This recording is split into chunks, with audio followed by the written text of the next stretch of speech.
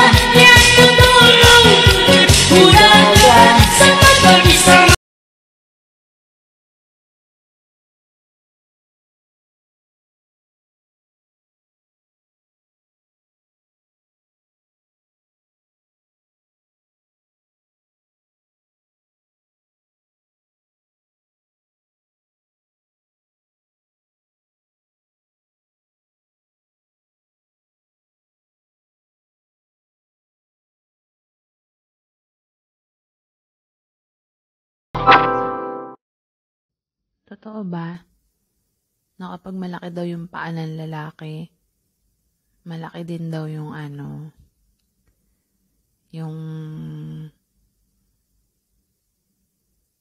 yung ano, yung sapatos.